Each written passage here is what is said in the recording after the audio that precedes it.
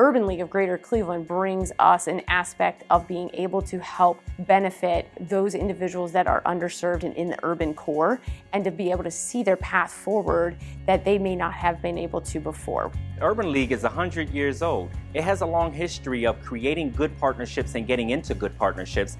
And within the Workforce Development Department, that has been a great niche in partnering with local companies and organizations to get people employed.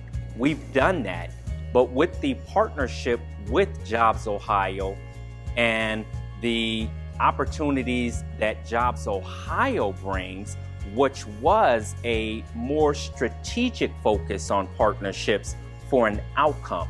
That's why I keep saying the words diversity, equity, and inclusion. Now, companies are really focused on hiring a diverse population. They've connected with employers that maybe they did not have as deep of a relationship with prior to Ohio to Work launching in the Cleveland market. I think they've also found a collaboration at a different level with their other partners like the Ohio Means Jobs Office and Goodwill and have found good synergy among those other partners to help continue to outreach to job seekers or those on the sidelines and have cross-referred individuals.